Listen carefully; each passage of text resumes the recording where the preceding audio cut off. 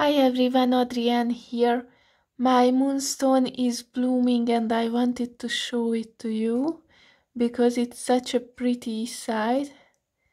I have recently uh, repotted the moonstone because uh, it was its head was too heavy and it lost many of its leaves at the bottom and there were some roots grow growing already on the stem of the plant. So I decided to uh, actually cut it back and start it again. And I did this when it started to bloom which was not the best move but it is still blooming which is a good sign. I hope that it will make it and that it will continue blooming.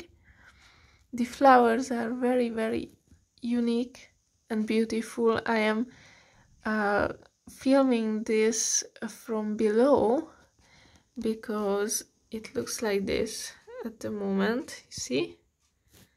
So it is growing from the stem and grows upwards here, but the flower buds are looking downwards, so I have to go here down to make the to film these beauties. They have very nice uh, color and it is so hidden. You cannot see if you are not looking from below. It's a very beautiful plant actually. I really like it the moonstone. Here it is both of them. It has a child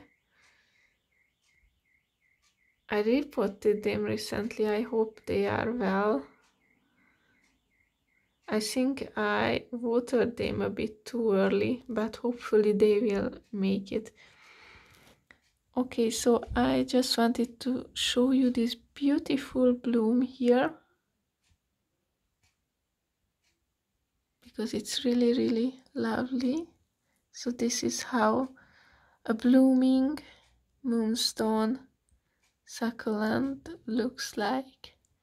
Thank you so much for watching this video. I wish you send you lots of love and light and thank you for watching the video. Have a beautiful day and see you in the next one. Bye bye.